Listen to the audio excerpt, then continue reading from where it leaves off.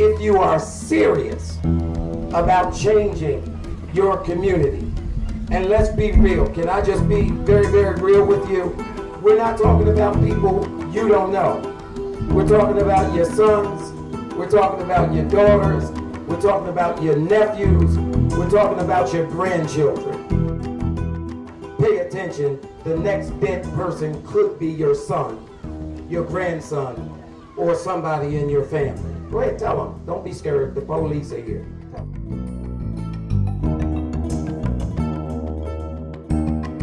In this city, you have 83 churches or places of faith, and that's 10,000 people that worship here every single Sunday. And the city's only 1.3 square miles, and there's only 13,000 people living here. You can do a lot with an army like that in terms of tackling poverty and education. Wait, just in case you think I don't know what I'm talking about. After 15 and a half years in prison, six and a half on death row, three and a half in one cell for 23 and a half hours a day for picking up a gun and shooting somebody who was a drug dealer who was attempting to beat me up and rob me in the community with that blurred line and then 15 years later being vindicated and extricated from prison on a self-defense executive pardon. I think I know a little bit about being a scared little 16-year-old boy that made the wrong choice.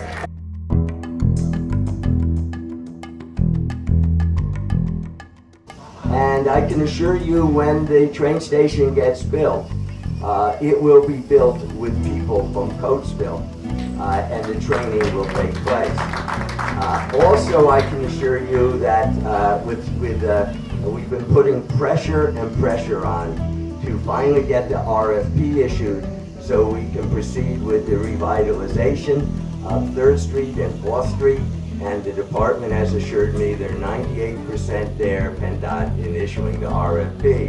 And we're continuing, they're going to revitalize all the 3rd Street all the way down to the station. And then they, uh, one reason it got delayed is they added Fleetwood's, part of Fleet, Fleetwood Street and Wall Street, so so we can get more out of this. The money's there, uh, so that's not the problem. The problem is getting PennDOT to move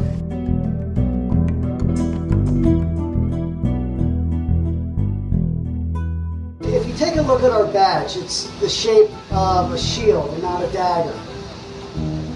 And if we take that approach, we can be guardians, caretakers of Coatesville and all within.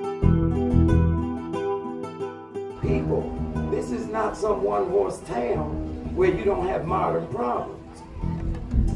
The, the, the violence is going to affect, listen, whilst the education is important, nobody can take it from you, but they can take your life, and that's right up there pretty important too. And if children don't feel safe, they're not going to go to school. And then what do you do with dropouts and suspended kids? You just can't throw them away. But if you take this one subject, not just under a banner of Black Lives Matter, if you take the subject children matter and you deal all together with violence, then we can talk about educating children. But if you can't keep them alive and you can't keep them safe, you're not going to have a school where children go to. Try one more time. Good afternoon, everyone. Welcome to the discussion. My name is Dr. Vincent Miles, and I'm one that comes from the community it's my job to moderate the discussion uh, as it relates to the Coatesville community, the school district, and our law enforcement. At this juncture, well, I'm pleased, first of all, to have a distinguished panel that sits behind me. I'm thankful for all of the respectful citizens that have come out today in order to participate today. I am really honored today to have Mr. Elwood Dixon, who is going to come before you in a minute. Uh, I'm so appreciative of Mr. Dixon for all the years that, has, that he has been in the community trying to make a difference. Without further ado, he's going to come before you and give you the statement of the purpose. Mr. Dixon, let's give him a good hand clap as he comes. I'm here, like everyone else, to be able to uh, try to get us all together uh, to bring this community, as far as I'm concerned, to bring it to where it's supposed to be. Uh, my, my, the things that we work on and for is where we need help. And that's you people out here. It's your community. We need people who are going to be committed because this is not a one-day event. I'm going to read to you. I'm here as a representative of our community, concerned citizen. I am a firm believer that each resident and organization deserves the best in the community that we can build and doing the things that we require as an honest effort from each other to make it. Each of us has a talent of doing something positive. Some of us, some of them are good at communicating with others. Some are, are good to organize movements or events. And in order to achieve positive results, we must have positive action, requiring the efforts of positive people. It will take the coming together of our government, our law enforcement, our school system, our churches, and our community organization to recognize that only a joint effort will get us to where we'd like to be. After all, this is a the sake of all residents and most of our children. Thank you very much. Thank you, Mr. Dixon. At this juncture, I'm going to invite uh, Mrs. Dorinda Westmoreland to come forth in order to introduce our speaker um, for a brief moment. Pastor Derrick D. Johnson, through sheer force of will, has become a sought-after consultant on strategies to reduce violence in communities, programmatic models for extraction from an alternative to gang and violent lifestyles in youth. He is the first formerly incarcerated person with an executive pardon to be the leading candidate for mayor of the city of Wilmington in 2012 and is currently the first such person to be appointed gang and violence czar of a major metropolitan city by the Honorable Mayor Dennis P. Williams. It is my honor that I introduce to you now Pastor Derrick D. Johnson. Thank you. Many communities and schools are dealing with the same dilemma. In my first conversation with President Obama, as we sat and talked about such things you hear about on the news like uh, Our Brother's Keeper and other issues, right at the top was violence in schools. Right at the top was community relationships with police. Right at the top was the disproportionate ratio of black incarcerated, African American incarcerated, as opposed to other ethnicities. And all of these have to be addressed together. All of these have to be addressed in order to deal with the problems that you face. It's very, very important from here that you listen closely to these next words if you are serious about changing your community. And let's be real. Can I just be very, very real with you?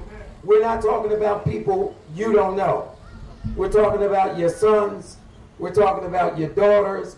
We're talking about your nephews. We're talking about your grandchildren. So if anybody next to you is talking to you right now, nudge them and tell them, pay attention. The next dead person could be your son, your grandson, or somebody in your family. And by the way, just in case you think I don't know what I'm talking about, after 15 and a half years in prison, six and a half on death row, three and a half in one cell for 23 and a half hours a day, for picking up a gun and shooting somebody who was a drug dealer who was attempting to beat me up and rob me in the community with that blurred line and then 15 years later being vindicated and extricated from prison on a self-defense executive pardon. I think I know a little bit about being a scared little 16-year-old boy that made the wrong choice. And any one of these young people out here today could make that same choice. And so one more time, just tell somebody, pay attention. What walls am I talking about? The walls that used to be in school where a teacher could teach for the love of teaching and did not have to worry about uh, a job for high pay, where a doctor worked for the for, for the healing of the day and did not work for a golf club and high pay. Those walls are ruined. But not only that, if you just walk down the street, you'll find the crack vials. You'll see the heroin sales. You'll see young girls attempting to sell their bodies. Those walls have been ruined. Family walls have been ruined because four out of every ten have a, a, a person who's been or is currently incarcerated. And reentry programs are few. And so the question remains, will you rest in the ruins? This guy, Nehemiah, was working for a government official, a king, but the equivalent of a governor, and he heard that his community lied in ruins. He heard that kids 13 and 14 were cursing at their own parents. He heard that small children, little girls, were putting tattoos on their belly buttons, and instead of stacking it up with the degrees, they were clapping it up, drop down, getting eagles on, and being exposed to sexual immorality. He heard that the place where he grew up, the place where he ate pancakes on his, his grandmother's table, the place where he went to church, the place where he went to school, he heard that it was ruined. How many people out here have seen something ruined in the last five years? In your family, in your community. Let's be honest. How many people out here can look and say, that boy could have been anything, and now his life is ruined because he's standing on a street corner with a gun in his belt instead of a degree in his hand. If you've seen anything ruined and you're sad about it, just wave at me. You don't even have to clap. Of course. Now, here's the question Will you rest in the ruins? When I came back from prison, I came back with two degrees in law Came back with one in psychology and obviously one in theology. And I was angered by what I saw.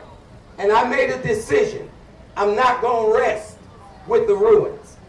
I refuse to accept that our schools are failed. They may be failing, but we have not failed. I refuse to accept that communities cannot come together. I want to show you something in the newspaper. This is one of the newspapers that carry. This is Howard High School in Wilmington, Delaware. A uh, African American high school which has spurned the likes of Dr. King's great friends. Many African American doctors, law enforcement officials have come out of this school. Tragically, a few months ago in that school, a group of young girls uh, involved in a gang jumped on another young girl in the bathroom and killed her dead in the bathroom. The school exploded. This is a front page picture of myself. No one could get control of the children. As you see the front page picture, thousands, thousands not just a few, because there are a lot of our children who want a quality education, who are afraid of what's going into school. They are not murderers. They are not drug dealers. They want to go to school. They want to get a good, good education, but their walls are in ruin, and they are wondering, what are you going to do about this situation so that I can get an education? Thousands of them in that picture were saying, Pastor D, we want to go to school. Are you going to rest in this ruined situation? Good afternoon, everyone. I'm Lieutenant Alded, and thank you for having us here to answer these questions. Steps that the City of Coatesville Police Department has done to ensure um, a better relation with the community is our officers are all now uh, wearing body cameras. I don't know if the folks are aware of that. We do have in-car cameras, and we also have street cameras here out on the, street as well. Um, and that's just one measure to, to show transparency amongst the officers in the community. And then we try to take that a little bit further. Try to encourage our officers to get out of the vehicle, stop into the, the businesses, see how the store owners are making out, and have that conversation. And while they're out of that car, also have a conversation with the community members that they're walking by. Um, just to try to break down that, that barrier, which is the police car. Uh, we find ourselves, unfortunately, in this vehicle um, that is a wall between us and the community. We don't have that conversation of hello, how are you today? Um, and that small little interaction might be a difference between a community member telling us that they have a problem on their street or something small like that. So these are the little steps that we're trying to take to help break that barrier down and build a better relationship with our community. I want to add on to the lieutenant's eloquent words. Uh, we were introduced today as law enforcement, and we are. But the one thing that I have noticed, being a police officer in Chester County for nearly 19 years and now seven in the city of Coatesville, is that our police department, under the exceptional leadership of Chief Jack Laufer and of course my lieutenant, there's been a shift in our policing strategy. And we have moved from law enforcement to policing. And to many, that may be just semantics or splitting hairs, but I'll just break it down real simply. Law enforcement is making arrests, enforcing the law. Policing is more relational. So while law enforcement is so very important in the totality of what we do, policing includes relationship building, prevention, outreach, programming, things that give us an opportunity to have conversation because we are only as successful as the community, let's be honest. So we need to have those conversations. We need to foster and then maintain constructive relationships. And if I were to ask anybody in the audience what the two most important things were in any relationship, most of you would say communication and trust. And the only way you can establish a relationship is if you first meet someone. So that's why we are putting the car in park, getting out and having valuable dialogue, joining conversations like this, and being transparent. Uh, by profession, I'm a criminologist. I got my doctorate in criminal justice. I've been a professor in uh, criminal justice for the last 21 years, and I've worked the system prior to that. So uh, police, uh, well, police and community relations are very important. Now, the next question I would have for uh, Judge Hines. The question for Judge uh, Hines would be, is there a relationship or correlation between high school absenteeism and criminal behavior as it relates to your court? First of all, good afternoon, everyone. I would like to thank the uh, church for bringing this all together and for the invitation. And to answer that question, I would say, yes, one of the first things as far as folks getting in trouble, if you were to ask anyone who's in prison, the first thing they've done wrong was probably truancy, not going to school. And that's where it actually starts at, for what I have seen over, over the years since I've been on the bench. That it starts at not going to school, because if you're not going to school, you're not getting the education. And if you're not going to school and you're trying to get a job, all they, all they have to look at is your school record. And if they, the job sees that you're not going to school, if you're late, they're going to assume that you're not going to come to work or you're going to be late. And then that just relates to a lot of other things. So if you see a person that who has been in prison or anything like that, most of the time, nine times out of ten, is that they started out not going to school. Yeah, uh, thank you. Thank you. I really judge with all due respect. Um, this goes to show you how differently we think. And when I say we, I mean those of us who are in the prison as opposed to those who send us to prison. Now, the judge has a good perspective. However, most of us nationally, I can't talk about, most of us who are incarcerated, we find out we start much earlier with the bad decisions than school. Most of us will, in fact, Judge, tell you that we mimicked and did some things at home that mom and them never really knew we were into. And most of us lost enchantment and interest in school. So that the dropout rate for us was, I, I ain't feeling school no more. As opposed to, I dropped out of school and then got bad. What, what, we, we lost interest and the street or some other lifestyle was more attractive than going to school.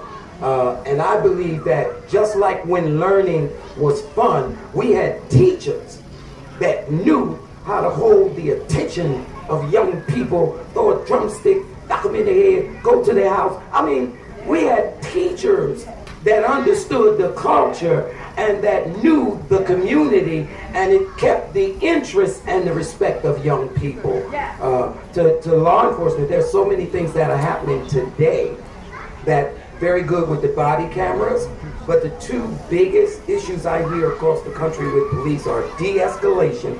That means when the police interact with people on the street, nobody can, the, the, the people want to stand up to the police and the police want to exert their authority and off there go the neighborhood. Nobody can turn it off. The, the civilian can't shut up and the police can't calm down seems to be the problem and then it's pop pop pop and the community uh, goes up. And so de-escalation training for every officer and you can't leave out. The police department has to look like the community. I mean let's face it if you have a racially imbalanced police department, you're going to have a lack of understanding, sensitivity about people in the neighborhood. So those are just a couple of suggestions that might uh, strike on the questions you asked them. I want to add to one thing the Reverend said, which, which was so powerful, and that is about how early children become disengaged in school. And one of the things that you see the Coatesville Area School District doing is saying, we're not going to wait until school. And I'm so proud that on Monday, we will open a preschool that not only engages young children, but it engages the parents, the families, and the other thing that the Reverend talked about was people who know the community, who know the parents. And our teachers will be doing home visits with the parents, with the families, and we're putting together a preschool, a community school that provides parent training, parent literacy, before and after care, and opportunities to make sure parents can work, financial literacy sessions. You're right. That's the future of schools. And I'm proud that this school district is one of the first in the county and the surrounding counties to say we're going to step out ahead, and that's the leadership of our citizens, our school board. People will come in and be valued because of what they have to offer, which may not be education, but rather life experience. So thank you for bringing that up. Um, we, we concur.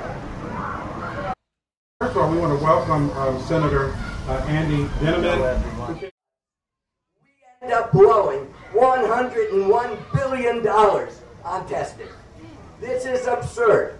We need to get people together and speak out very forcefully on this issue. Because it not, I know that your superintendent agrees with me on this. Because think of what that $1.1 million could have done to educate every child to the top of the curriculum. And when finally we got passed in the Senate a bill that I worked on for five years, and we got it passed in the Senate and House unanimously. It took me five years to get it passed, which said uh, that, they, that the Department of Education can no longer use the Keystone exam as a judgment for graduating a student. Because you see how unfair it is. You don't have a textbook and then they tell you you can't graduate. And there's stamping failure on this very on poor students who don't even have the resources to learn the Department of Education has gone around the Senate and continues to use the Keystone exams as a vehicle for graduation. So we even have, when we pass legislation, our own Department of Education trying to sub- they think they know more than you, the educators, and they ignore the legislature. We no longer can have, and let me say it clearly, government by an ed- by bureaucracy. We have to have and change our educational policy. And I just wanted to let you know what the truth is. And uh, your school district understands this. Am I right, Kathy? We need to change the whole way we go about education. Too many children, too many children are being left behind. And uh, I will add to what Senator Goodman said. We are, in the Coatesville Area School District, we recognize that there are tests, but we are focusing on moving children forward. We are one of the first districts to pay for the SAT for every 11th grade student in our school district. It will be offered at school for free. They don't have to try to go out find it. They will be ready so that when they're ready to go to college, they will have it. Every 10th grade student will have a PSAT. Those are the kinds of things that we would like to use the money for that do not promote inequity among students. So I thank um, the senator for his words and his work and for a board that, that promotes equity between students. I believe that suspension rates, guns, death and dying of young people should be your number one priority. Schools, streets, proliferation of gangs, HTB, STK. I've met with 13 gangs between Philly and here. People, this is not some one horse town where you don't have modern problems. The, the, the violence is going to affect, listen, quality education is important. Nobody can take it from you, but they can take your life, and that's right up there pretty important too. And if children don't feel safe, they're not going to go to school. And then what do you do with dropouts and suspended kids? You just can't throw them away.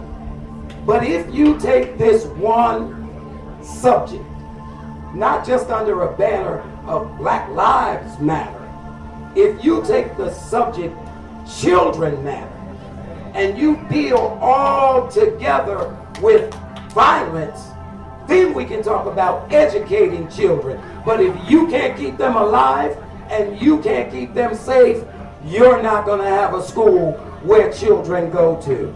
And so I believe, based on my experience, that if you if you bring down a suspension rate and you make that a safe school, then the teachers are free to teach, the children are free to come, and the parents are free to vote for whoever they want to vote for. All right? But safety and, and, and violence is number one for me. So, uh, coming from a family of, uh, of at least 14 in the house, going to college was more or less a blessing for me. You know, uh, it wasn't like there was there was struggle that went behind it. But I came back to Coatesville so people can see that if I can do it, you can do it. I have a doctorate today, but that really doesn't mean a, it means a lot to some people. But for me, it's more or less an example for other people to try to strive to do something with their lives. Answer. I want to answer as someone that teaches college level criminal justice courses and then as someone that works for a city of Pittsburgh. In terms of reduction, I'm going to talk a little bit about Travis Hirschi's social bonds theory. And it's interesting because it talks mostly about why people don't commit crime while other theorists pose why people do. And in a nutshell, it talks about social bonds and connecting people, hopefully at a young age, to positive things that they do not have a willingness to lose. And in doing so, they will act according to law and social norms, appropriate social norms. So in regard to how the city of Coatesville is involved in that, we really try to support organizations that have the best interest of the city, of the youth, and of maintaining harmony and, and balance at heart.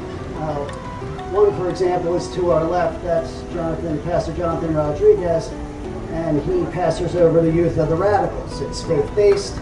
He does an exceptional job, and to see dozens of teenagers out on a Friday night doing something positive is so wonderful to see. And he's also kind enough to allow us to join the group because that interaction between kids at a very impressionable age is really important. Sometimes I think he just calls because I have the key to the community center, but he assures me that it's more than that. Uh, I'm, I'm a true believer, and this is my personal opinion, uh, you know, because this is what I do, what I am is a dad and a husband. This is what I do. And I think my experiences make me more effective at what I do. Um, but I truly believe that the, the arrest is not necessarily the answer. Sure, people need to be held accountable, but it really it's it's the result, and it's the result of many things. Uh, we try to prevent quite a bit in Coatesville through patrol, through relationship building. Uh, we work hard to reduce the availability of prescription drugs and guns, and, and really try to curb violence because violence also stems from guns and drugs. Uh, so we work hard, and, and we're very open to individuals or groups that want to partner with us. I think that's really important because we cannot do it alone. I'm not allow my lieutenant to add if.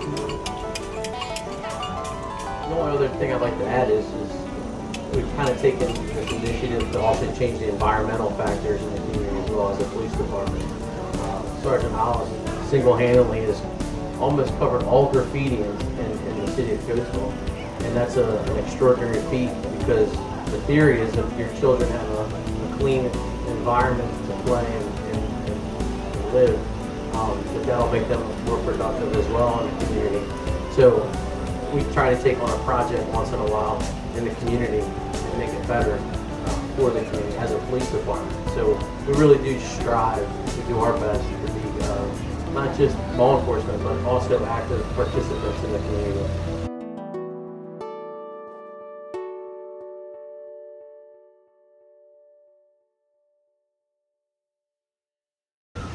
Not do it single-handedly. I had lots of help. But, but to sum it up, if, if you take a look at our badge, it's the shape of a shield and not a dagger. And if we take that approach, we can be guardians, caretakers of Coatesville and all within. In this city, you have 83 churches or places of faith, and that's 10,000 people that worship here every single Sunday. And the city's only 1.3 square miles, and there's only 13,000 people living here. You can do a lot with an army like that in terms of tackling poverty and education. Um, and so a big part of what I'm trying to do, or like to partner with uh, community leaders in doing, is breaking down the communication barriers we have, start solving these problems as a community moving forward together. Um, and a lot of that uh, involves, uh, and you have such a good foundation with the police department, but with the families here, or with an incredible state, dedicated state senator, uh, that we can uh, move forward, I think, quicker than some other cities, because you have a lot of people that want to see the city accomplish great things. A lot of people remember uh, when that mill was firing and, and, all the amazing things that were happening in the city. Uh, so I'm hoping that uh, I can, in whatever capacity I can as a mayor from a neighboring town, uh, be part of that progress and support what this community is already doing because this is a great city and it's only going to get better. They asked me to come up and join. Well, let's give Josh applause for his excellent response first. The problem in economic development in Coatesville for years has been that people come in, get the money from the development, and leave and the people of Coatesville are never, uh, have never been part of the rebuilding of their own city. I can show you project after project where companies who are hired uh, from Lancaster and other areas. I always remember about four or five years ago standing on the park uh, near the community center there and a group of citizens coming up there. Maybe it was more than that, you know, where they built, when they built those new townhouses up in that area, 13th, I guess 12th Street and 11th Street. And uh, five people in the community who knew me came and said, Andy, why can't we get any of those jobs? And so uh, that is something we're working on. And I can assure you when the train station gets built, uh, it will be built with people from Coatesville. Uh, and the training will take place. Uh, also, I can assure you that uh, with, with, uh, we've been putting pressure and pressure on to finally get the RFP issued so we can proceed with the revitalization of 3rd Street and 4th Street.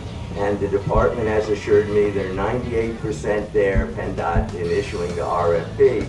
And we're continuing, they're going to revitalize all the 3rd Street all the way down to the station. And, they, uh, and one reason it got delayed is they added Fleetwood's part of Sweet Fleetwood Street and Wall Street, so so we can get more out of this. The money's there, uh, so that's not the problem. The problem is getting PennDOT to move, you know, be a little faster. PennDOT is not known for speed, right?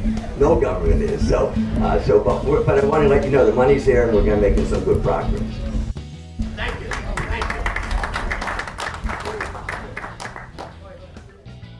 Part of um, reducing violence is teaching discipline.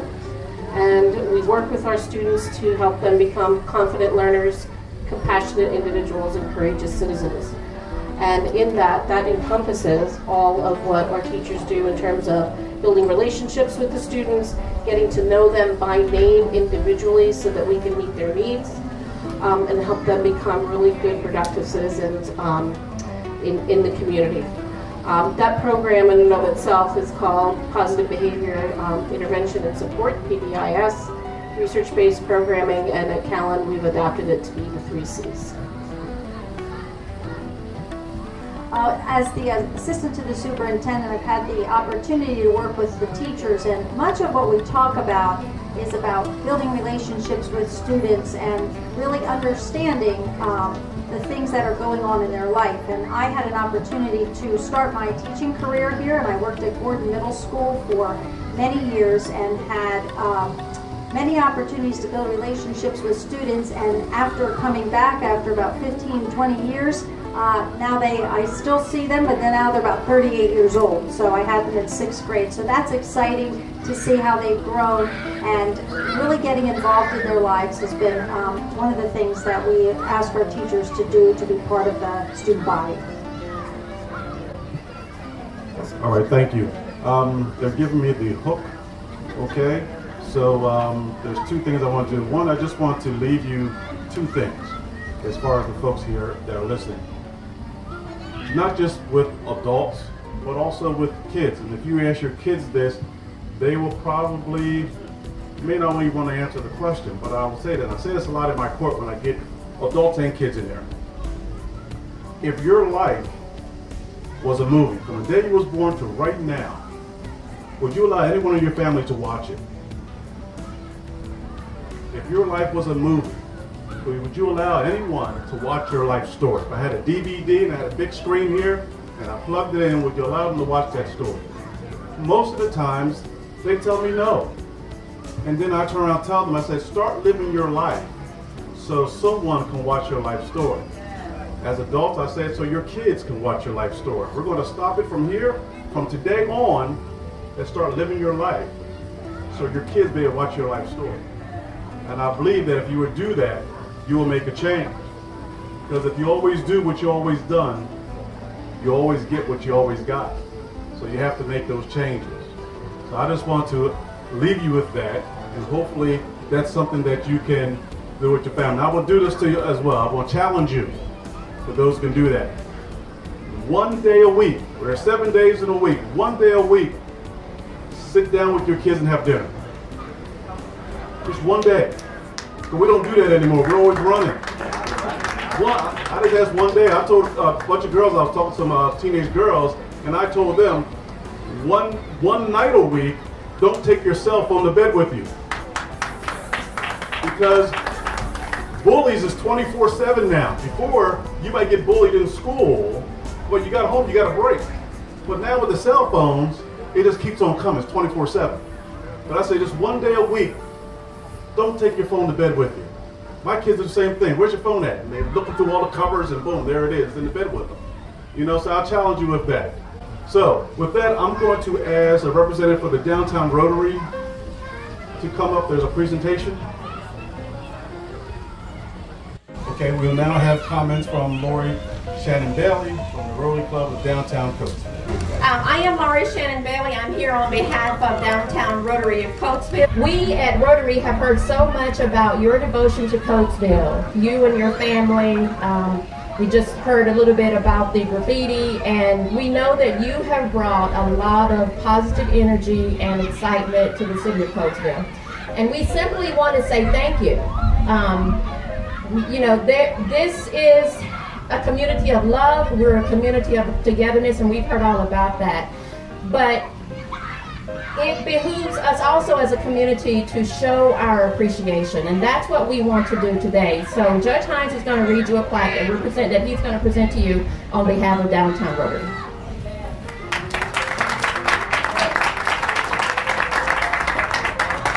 Okay, before I, I, I, read the plaque, I just want to let you know just a little bit about Sergeant Ollis. I knew Sergeant Ollis before I became a judge when he was policing in the area. And I will tell you one thing, he does live up to the word of community police officer. I'll never forget the time there up at the community center. Somebody was having a grilling and all that. And um, Sergeant Ollis got some dance moves. Yeah in and out of uniform. He has some dance moves. Yeah, so he is he is well deserved of this of this plaque, and I will read. It says, "Thank you, Sergeant Roger Ollis and family. We continue to remember before God and Father your work produced by faith, your labor prompt by love, and your endurance inspired by hope in our Lord Jesus Christ." First Thessalonians, first chapter, third verse on this day, August 20th, 2016, presented by Coastal Downtown Road. Congratulations.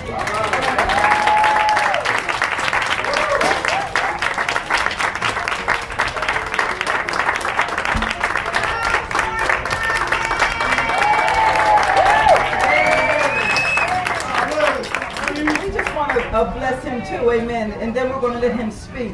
Amen. You, have been such a blessing to Jubilee Evangelistic Ministry. I'm standing on behalf of my husband, Pastor Frank Fullwood. Amen. And we just want to thank you for how you come out and how you serve and, and, how you give. Amen. To the to the people that are coming through that are less fortunate. You just serve so so freely and so selfishly. And we just want to bless you with this this plaque. Amen. It says it's from Nehemiah Community Development Corporation, Certificate of Appreciation awarded to Sergeant Roger Ollis of the Coatesville Police Department for exceptional community involvement and service. In recognition to your outstanding police performance and dedication to the Coatesville community at large, it gives us great pleasure to salute you for your dedication and continual support to help make our community a safer place to live. It is with great, uh, it, it's with extreme gratitude that we honor you on this 27th day of August 2016. And this is from uh, Pastor Frank, myself, amen. And we also want to uh, bless you with a gift certificate. We appreciate you. And I just want to say thank you to on behalf of the community. Roger, I don't know anybody, and his name's Roger, and so is mine, so I identify with this gentleman here. Uh, the connection that you've made with the community is everlasting very rewarding, and it has a tremendous amount of meaning, and I just want to thank you.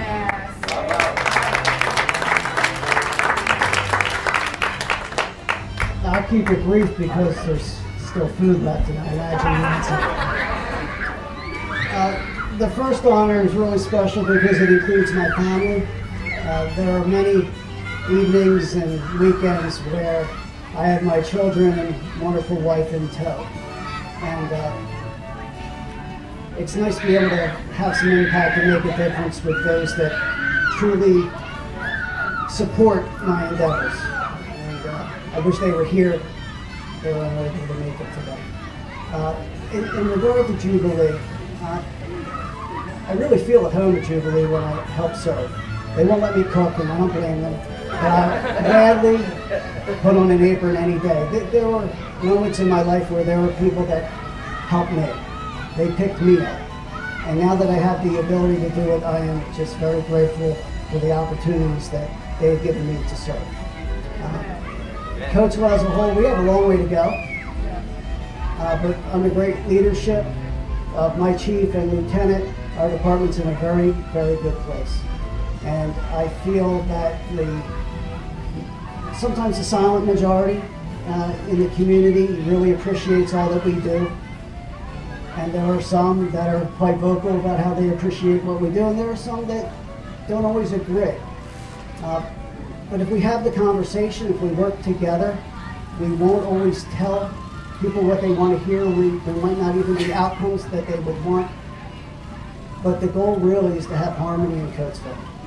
Uh, before I came here today, I took a quick look at the log, and there are already 60 entries on our patrol log. And that runs from midnight to what time do we leave, Lieutenant? About 10.30. So we're quite busy trying to keep the peace. So I encourage everyone to help us. I thank you. Bravo.